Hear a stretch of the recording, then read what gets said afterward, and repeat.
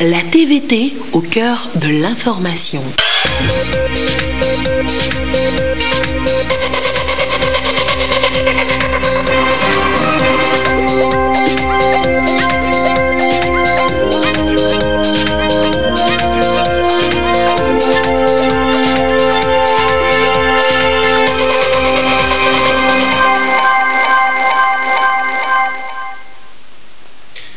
Mesdames, Messieurs, bonsoir. Bienvenue sur la télévision togolaise pour le journal du soir. Voici le sommaire. C'est officiel, le programme présidentiel d'excellence pour le PND vient d'être lancé. Il est basé sur la formation des étudiants en master des universités du Togo sur les différents axes du plan quinquennal. C'est pour l'émergence des talents qui vont contribuer à renforcer l'administration togolaise. Les précisions dans ce journal. Le Bénin et le Togo unissent leurs forces pour mieux sécuriser leurs frontières. Les deux pays ont beaucoup évolué sur les questions de réaffirmation de la frontière Togo-Bénin. Un mémorandum de coopération a été signé ce vendredi à Lomé. Et puis un stade de Kege New Look après 20 mois de travaux de rénovation et de construction. Lucas nous fera découvrir ce complexe sportif moderne en fin de journal. Voilà pour les titres. Encore une fois, bonsoir et bienvenue dans le 20h. Le plan national de développement est en marche. Le Togo enregistre déjà des retombées du premier forum économique avec l'Union européenne. Le fonds d'investissement CARA et Africa Rice vont injecter 5 milliards de francs CFA dans le développement de l'agrobusiness et de l'énergie. La délégation a conféré avec le Premier ministre, comme Michel Onklassou cet après-midi à la primature. Le chef de la délégation, Zungere Sonkabi, s'est confié à la presse à la fin de l'entretien. Des propos recueillis par Yves Vivi.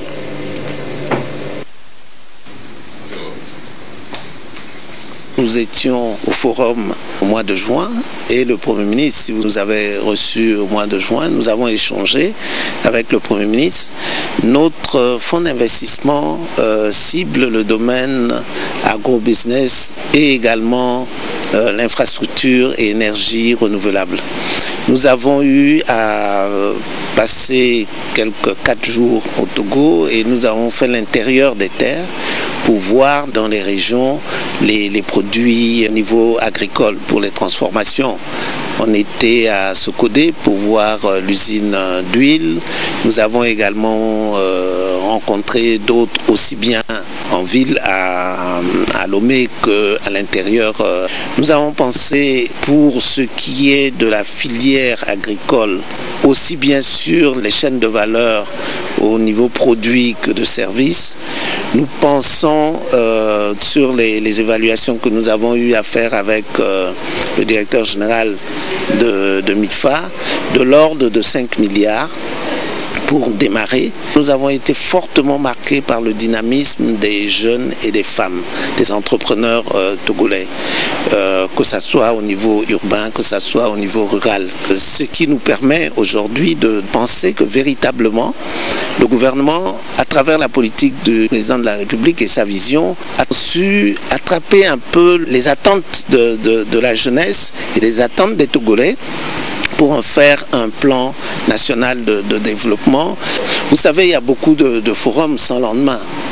Mais euh, nous constatons aujourd'hui que par rapport à l'amélioration du climat des affaires, à l'environnement du climat des, affaires au niveau du, du Togo, ça a donné un signal très fort pour que des fonds d'investissement comme euh, nous puissent venir et se dire on va faire le, chemin ensemble.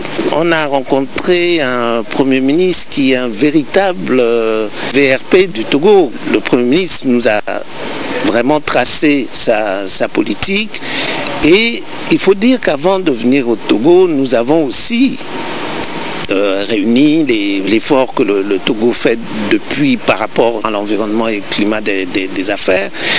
Et ça nous a renforcés. Et nous avons un, Premier ministre qui est, qui est disponible avec euh, sa détermination de pouvoir réussir euh, ce programme ambitieux.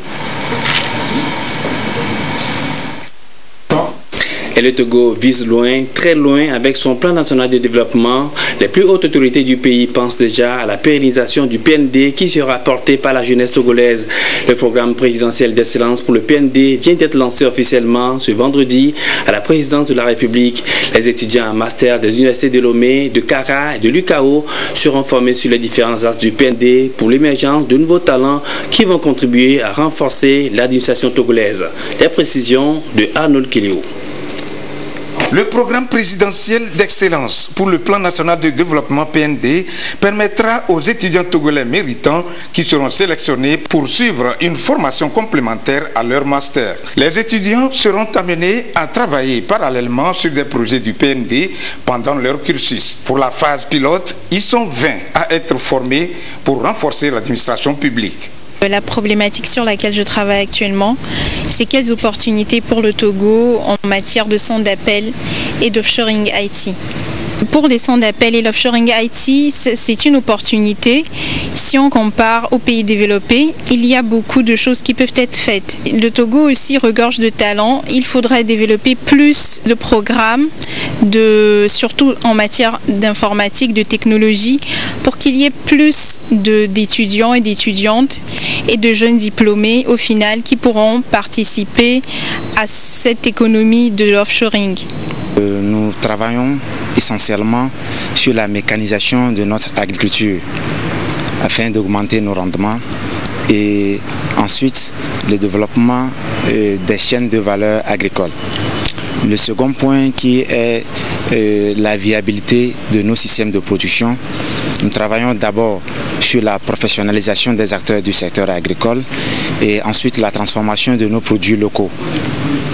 Enfin, le troisième point qui est consacré au financement de notre agriculture. Dans le cadre du PND, puisque la digitalisation est un axe très important, euh, je pense que le fait que je sois déjà très proche des nouvelles technologies de l'information et de la communication va me permettre de savoir comment appliquer cela au processus de digitalisation. Moi, personnellement, je trouve que c'est une initiative incroyable de la part du gouvernement parce que c'est une opportunité en or qui nous est offerte de pouvoir démontrer enfin que la jeunesse togolaise peut apporter et jouer un rôle très important dans le processus de développement.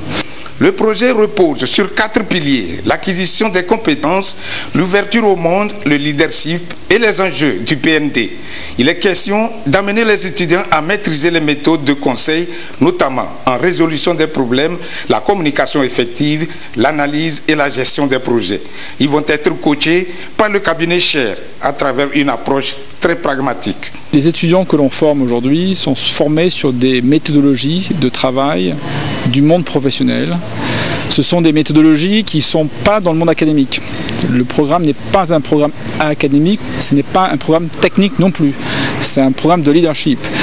Nous faisons intervenir des, anciens consultants, des anciens euh, exécutifs de grands groupes, euh, de grandes universités, euh, de, grands cabinets de conseil, pour leur partager des compétences professionnelles qu'ils auraient dans le monde de travail, je dirais, d'exception. Donc on amène l'excellence au Togo. Hein. C'est ça l'esprit du programme. La ministre du Développement à la base a, au nom du chef de l'État, remercié les partenaires qui accompagnent la mise en œuvre de ce programme.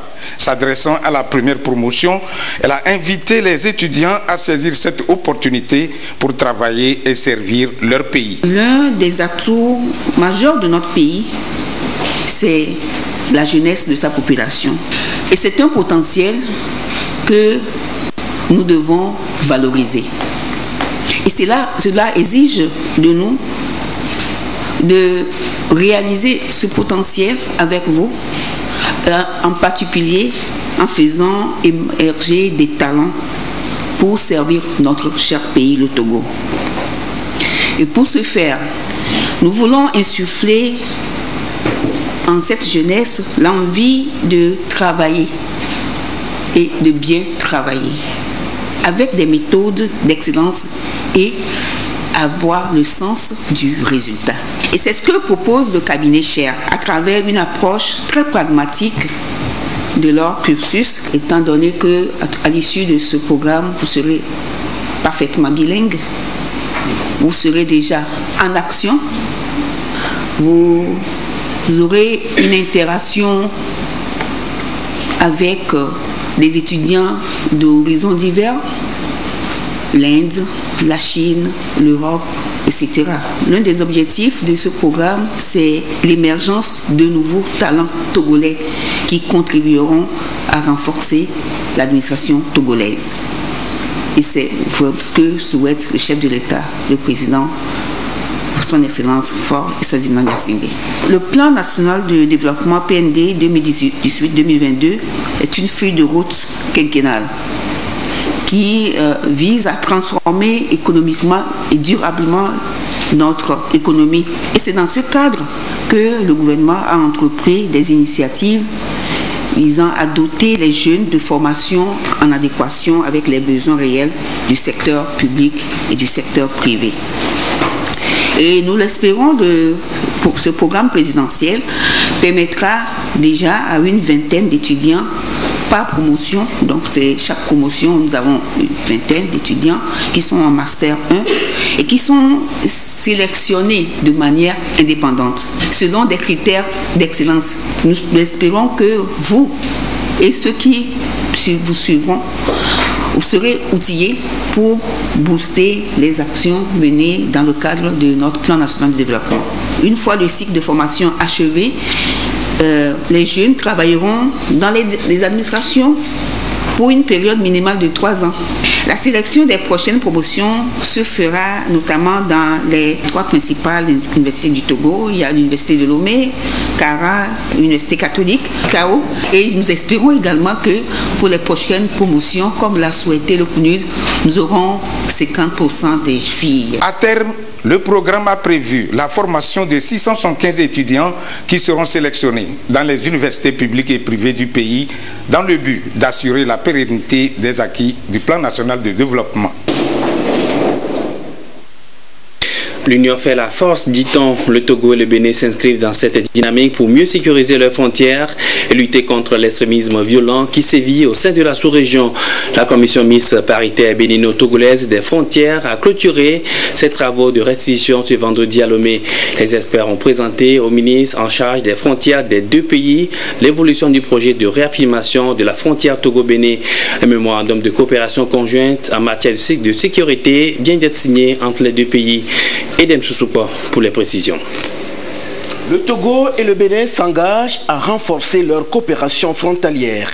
La signature de ce mémorandum d'entente à la 16e session de la commission mixte de délimitation de la frontière terrestre entre le Togo et le Bénin porte sur les services de sécurité, des renseignements et de la protection sociale entre les deux pays. Depuis plus de cinq ans, le Bénin et le Togo travaillent ensemble pour éviter des différends et conflits qui peuvent naître de la gestion de leurs frontières communes. Les travaux de réaffirmation de la frontière se poursuivent sur les 604 km. Nous avons décidé, le Togo et le Bénin, de réaffirmer notre frontière commune. Ça suppose quoi? Qu'il faut rechercher les bords, les valider et autoriser que les techniciens puissent procéder à la construction de bornes à la dimension internationale. Donc, on vous a exposé l'état des bornes. Donc, ça fait une tonne par borne. Donc, et après, si nécessaire, s'il y a les moyens, on va procéder à la densification, ce qui suppose qu'il faut augmenter le nombre de bornes afin de rendre plus visible la ligne frontière. La GZ, qui soutient fortement ce projet, vise également le développement des espaces frontaliers ainsi que la cohésion sociale au sein des populations des deux pays frères. Beaucoup d'actions de coopération transfrontalière ont été réalisées, notamment l'approvisionnement en eau potable a permis effectivement donc aux populations frontalières de partager des ressources en eau. Les femmes ont bénéficié des activités génératives de revenus. Tout ça permet effectivement donc d'améliorer les conditions de vie et en même temps renfermer les relations fraternelles entre les populations de part et d'autre de, votre frontière commune. Le ministre béninois de l'Intérieur a, au nom des deux gouvernements, précisé que ce qui lie les deux peuples est fort et que la frontière ne peut les diviser.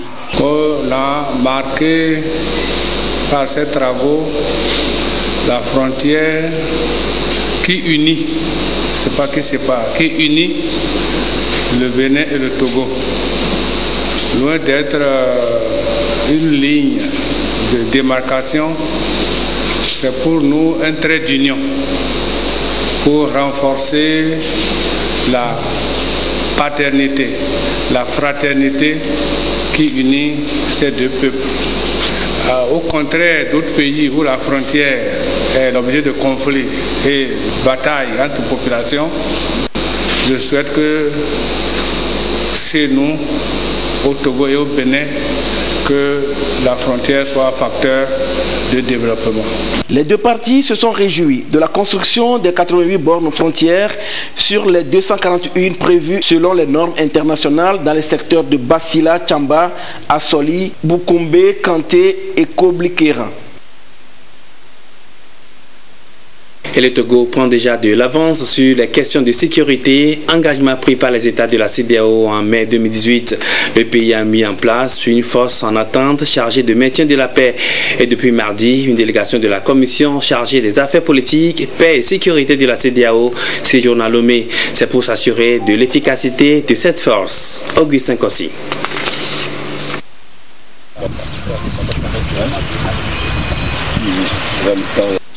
Une visite d'inspection de la Commission des affaires politiques, paix et sécurité de la CEDEAO au Togo. À sa tête, le général Francis Béanzé. La délégation a pour mission de vérifier la disponibilité et l'opérationnalité effective du matériel ainsi que du personnel de la composante togolaise de la force en attente de la CEDEAO FAC, une force instituée par les chefs d'État de la sous-région pour renforcer leurs unités nationales face aux menaces multiformes de l'heure de plus en plus organisées. Après avoir rendu visite au chef d'état-major général des forces armées togolaises, le général de division Abalo Katanga, la délégation a eu droit à une présentation sur la composition de la force en attente togolaise. Puis, au centre d'entraînement aux opérations de maintien de paix, elle a inspecté un bataillon d'unités de police constitué.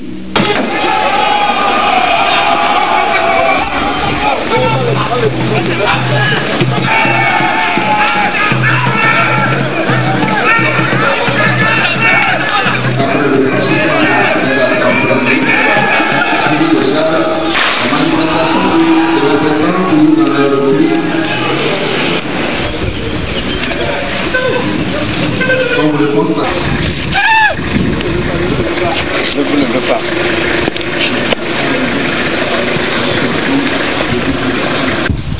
the standby unit, which uh, the Republic of Togo has pledged to the ECOWAS standby force to see your state of readiness, equipment, and to see your training program and equipment. Uh, the visit started yesterday Nous sommes ici au Togo dans le cadre d'une inspection. Le Togo a fait recours à la force en attente de la CEDAO pour venir travailler ensemble et voir le niveau d'entraînement, les programmes de formation et l'équipement depuis notre séjour, je suis content et satisfait de tout ce que j'ai vu. De ce que nous avons vu, il est clair que la force en attente ici est au-delà de 15% de son opérationnalisation. Nous sommes aussi intéressés par la discipline dont fait montre cette force. Vraiment, le Togo fait des efforts appréciables. L'entraînement est un processus continu de formation dans l'armée suivant le système de la police. J'exhorte seulement le Togo à continuer les entraînements. Nous ne souhaitons pas une guerre dans notre sous-région.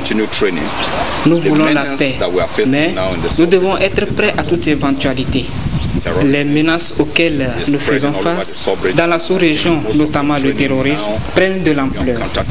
Et je suis conscient que la force en attente de la CDAO a sa partition à jouer dans la quête de la paix et de la sécurité pour l'espace. Une compagnie motorisée, une compagnie d'appui et de suivi, la logistique et un hôpital HN2 ont été également inspectés une visite qui s'inscrit dans le contexte des engagements pris par le Togo lors de la 38e réunion ordinaire des chefs d'État de la CEDEAO à Lomé le 16 mai 2018. Et pour mieux faire face aux défis sécuritaires, la vigilance est renforcée à tous les niveaux, surtout à l'aéroport. Les Nations Unies ont introduit le système de renseignement préalable pour les voyageurs. Le Togo se conforme déjà à cette mesure. Leur est à l'évaluation avec la mission d'assistance de l'équipe technique du projet CT Travel qui séjourne actuellement au Togo. Le point avec Yata Ratem. Le terrorisme constitue un défi majeur pour le monde entier. Ici, les acteurs impliqués dans le transport aérien échangent sur le nouveau programme Go Travel, un système de renseignement préalable concernant les voyageurs RPCV. Go Travel System uh, helps. Uh, le système est utilisé pour détecter les terroristes. Il facilite le regroupement d'informations sur l'identification des voyageurs, leur analyse et leur partage entre les pays membres. Le Togo est le premier pays de l'Afrique de l'Ouest à adhérer à ce projet. It is the first one in the uh, West Africa region. La mise en œuvre de ce système permettra au Togo non seulement de se conformer aux exigences internationales de l'OACI, mais aussi de lutter plus efficacement contre le terrorisme et la criminalité transfrontalière. Nous avons préparé les documents qu'on va soumettre à leur expertise. Ils ont déjà vu le document, ils le trouvent parfait et que ce serait un document de référence pour l'ensemble des pays. Nous voulons un pays sûr, sécurisé, pour qu'on puisse développer ce pays avec l'initiative du chef de l'État qui veut l'émergence en 2030. On ne peut pas être émergent dans un pays d'insécurité. C'est pour ça que toutes les actions sont prises à tous les niveaux pour que ce soit un pays sûr et sécurisé, pour que les hommes d'affaires viennent en toute quiétude et repartissent sans problème. Vous savez, la sécurité, la sécurité, c'est l'affaire de tout le monde et c'est une action de tous les jours.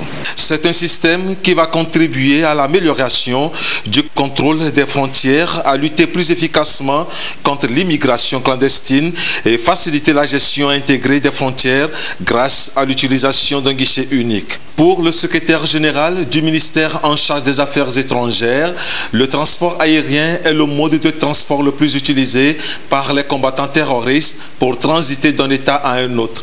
Et vu le contexte de risque mondial et sous-régional, il est essentiel de traiter les données relatives aux passagers pour pouvoir identifier, détecter et intercepter les combattants terroristes. Le système de RPCV renforce ainsi la sécurité aux frontières et la sûreté de l'aviation civile.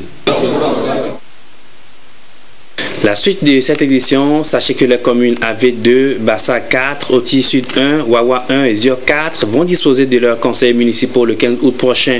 C'est la date prévue pour la tenue du scrutin partiel dans ces localités. La Commission électorale nationale indépendante poursuit donc sa mission dans ce processus électoral. Elle vient de se prononcer sur comment va se dérouler ce scrutin partiel à travers un point de presse. Ferdinand Diassoa. Au cours des élections municipales du 30 juin dernier, trois communes n'ont pas vécu l'événement pour des raisons d'ordre technique et sécuritaire. Il s'agit des communes AV2, Bassar 4 et Oti Sud 1. Outre celles-ci, deux autres, notamment Wawa 1 et Zia 4, ont vu leur scrutin invalidé par la Chambre administrative de la Cour suprême le 17 juillet dernier, conformément aux dispositions de l'article 148 du Code électoral afin de corriger le tir et permettre à ces communes de disposer de leurs conseillers municipaux, le gouvernement a annoncé par décret pris en Conseil des ministres le 24 juillet dernier la tenue d'un scrutin partiel dans les cinq communes concernées. Le président de la Commission électorale nationale indépendante, CENI, revient ici sur le rôle combien important que va jouer son institution dans l'organisation de ces élections partielles.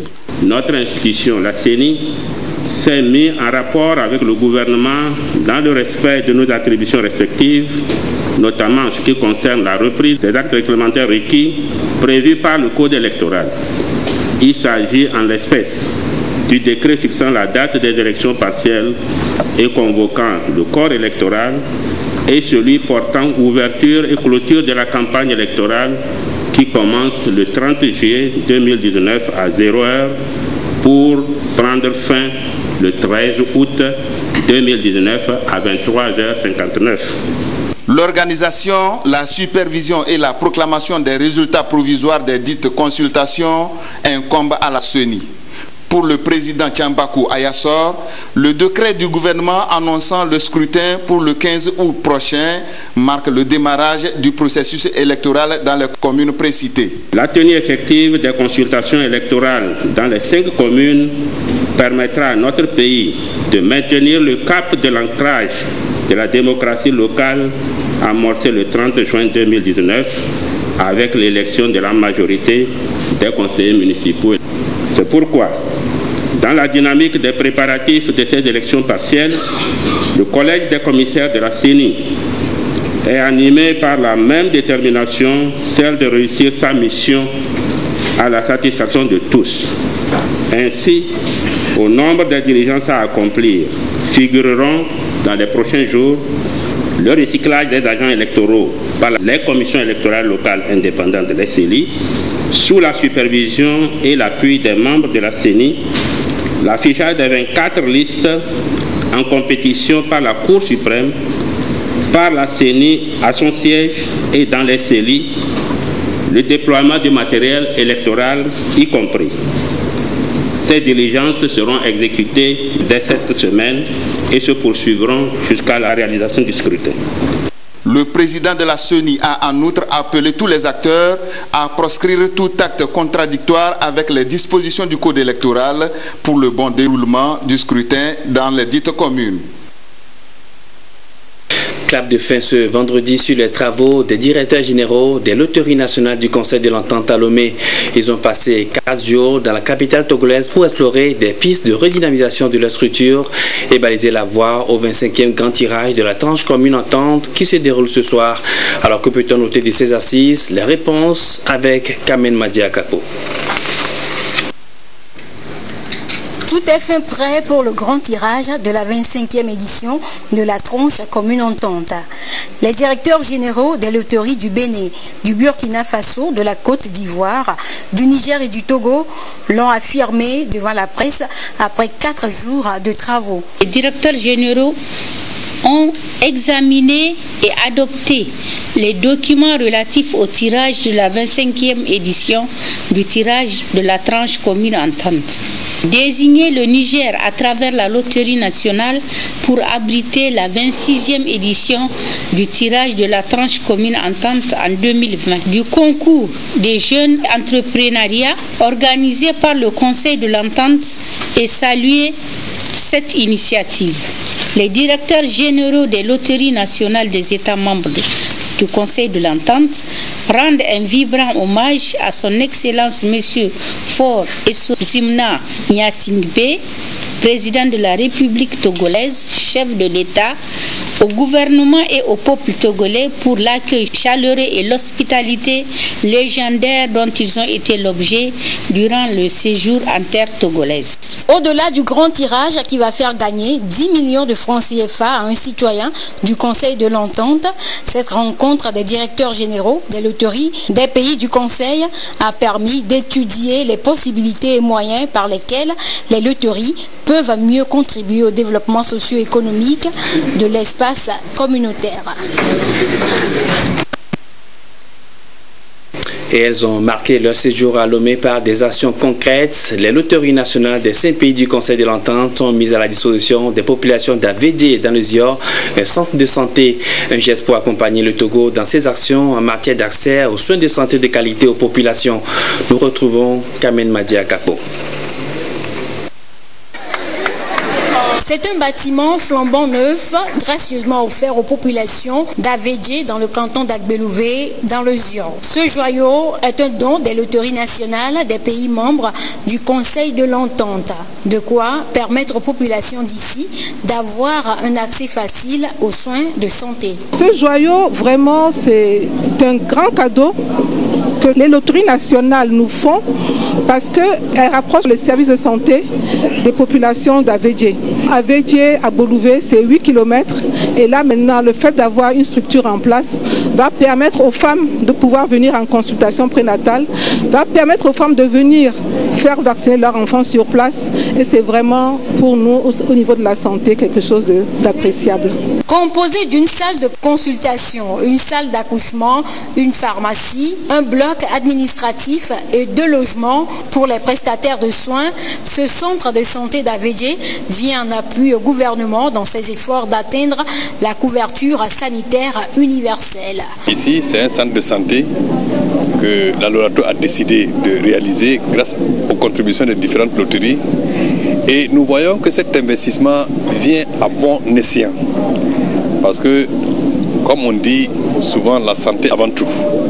La santé, c'est un bien précieux. La santé, c'est la première condition pour l'homme pour se réaliser. Et nous sommes allés, j'allais dire, au fin fond du Togo. Nous avons constaté la pertinence de cet investissement. Encore quelques heures et le gagnant du gros lot de la 25e édition de la tranche commune entente sera connu. Mais en attendant, les paris continuent. Le lycée de Sokolé remporte la finale du match de football junior et senior comptant pour les championnats scolaires et universitaires 2019. Les lycéens du lycée technique de Sokolé ont pris le dessus face à ceux du lycée de Pagouda par un but à zéro. La phase nationale de ces championnats s'est déroulée à Kara sous le regard du ministre en charge des sports, Folie Bazi Katari. Le résumé de la compétition avec Tienpiutba le défilé des différents établissements qui ont pris part à ces Le sport vecteur par excellence de cohésion, du vivre ensemble et de paix. Des valeurs auxquelles la jeunesse togolaise est appelée à s'attacher, ce qu'a réaffirmé avec force et vigueur le ministre en charge des sports, Fouli Bazi Katari, à cette apothéose des championnats scolaires et universitaires édition 2019. Les championnats scolaires et universitaires constituent un cadre privilégié de détection des jeunes talents dans les différentes disciplines sportives et aussi un outil pédagogique qui contribue à l'éducation et à la formation des jeunes élèves et étudiants aux vertus et valeurs civiques et citoyennes. Les championnats scolaires participent aussi à l'acquisition de connaissances, de compétences et de culture. Ils sont également des moments de partage et d'enthousiasme où les élèves et étudiants cultivent et développent les valeurs qui fondent le socle même du vivre ensemble dans les écoles et dans la société. Après avoir écouté attentivement ce message très important du ministre Folibazi Katari, les deux lycées finalistes, celui technique de Sokodé en blanc et d'enseignement général de Pagoda en jaune, entrent dans l'arène. Un duel qui va tout simplement tourner en faveur des lycéens de Sokodé qui ouvre le score à la 34e minute grâce à Abdoulaye Sadikou suite à une combinaison bien orchestrée. Score que ceux-ci vont conserver jusqu'à la fin. C'est toujours bien de gagner, mais mieux d'œuvrer à la sauvegarde de l'intérêt général. Je voudrais avant tout propos exprimer notre gratitude à son Excellence, Monsieur Fort Esozimna Nyasingbe, président de la République, qui a bien voulu accepter de parrainer pour la première fois la phase des finales nationales des championnats scolaires et universitaires saison 2018-2019, un soutien de taille qui vient confirmer son attachement au mouvement sportif de notre pays et son intérêt pour l'éducation citoyenne et civique, pour la formation et l'épanouissement intégral de la jeunesse togolaise. Soucieux de l'éducation et de la formation de la jeunesse togolaise, le chef de l'État, son Excellence M. Fort Esojimna Nyasingbe, déclarait dans son discours de lancement officiel du plan national de développement le 4 mars 2019, je le cite, La jeunesse togolaise est brave, engagée et désireuse de s'épanouir en participant à la construction nationale. Elle ne demande pas de l'aumône, mais de l'éducation, de la formation et un contexte économique motivant. C'est pour répondre à ce noble objectif que le PND vise, dans le domaine du sport, le renforcement des infrastructures modernes adaptées à la pratique des activités sportives et le développement de la chaîne de valeur sportive. Ces sports scolaires et universitaires qui ont produit cette année encore des champions dans plusieurs disciplines, des lauréats récompensés avec la manière à travers Je vous donne lecture de ce communiqué avant de refermer cette édition. Dans le cadre du programme Vacances utiles et citoyennes, le ministère du Développement à la base de l'artisanat de la jeunesse organise du 11 au 18 août 2019 une inscription au profit de 200 élèves sélectionnés parmi les meilleurs lauréats du BPC 2019. À cet effet, le ministre invite les lauréats retenus pour bénéficier de cette inscription à confirmer leur participation plus tard le 9 août 2019 à 17h en appelant les numéros 90 90 94 90 ou le 90 84 50 65 ou le 90 81 92 75 ou le 99 04 89 69. Les participants de l'intérieur du pays sont attendus à l'ENI de Notaire le dimanche 11 août 2019 à partir de 12h. Ceux résidant dans les préfectures du Golfe et d'Aguanivé sont attendus le même jour à la direction de la jeunesse, 6 à la cité OUA en face du ministère de la Défense et des anciens combattants au plus tard à 16h. Selon les seuls les lauréats ayant effectivement confirmé leur participation seront acceptés sur le site d'accueil à Noté. Par ailleurs, chaque participant est prié de se munir de sa pièce d'identité, carte scolaire ou carte nationale d'identité, sa literie, drap ou couverture, ses vêtements, habits, vert, chaussures, tenues de sport ou du nécessaire pour se laver durant toute la période de l'inscription. Pour tout renseignement, appelé le 22 61 63 29 ou le 90 88 42 44 tous les jours ouvrables de 8h à 17h30. Et avant de refermer cette édition, notez l'actualité du jour, la fin des championnats scolaires et universitaires 2019 à Cara, un projet du chef de l'État. Merci de nous avoir suivis et passez une très belle soirée.